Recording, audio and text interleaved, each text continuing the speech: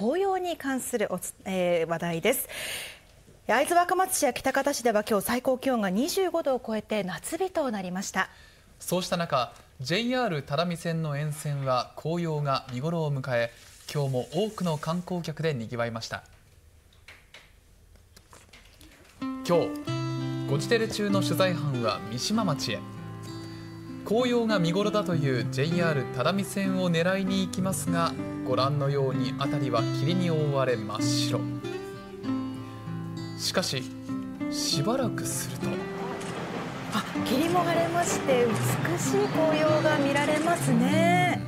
紅葉が美しい只見線ならではの光景ですよね、うん、まさに絶景が楽しめました。この只見線の紅葉を一目見ようと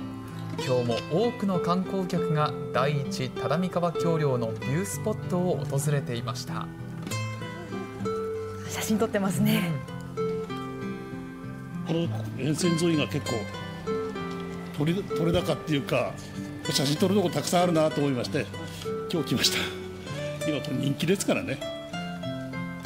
さらに只見線の会津宮下駅近くのお寺でも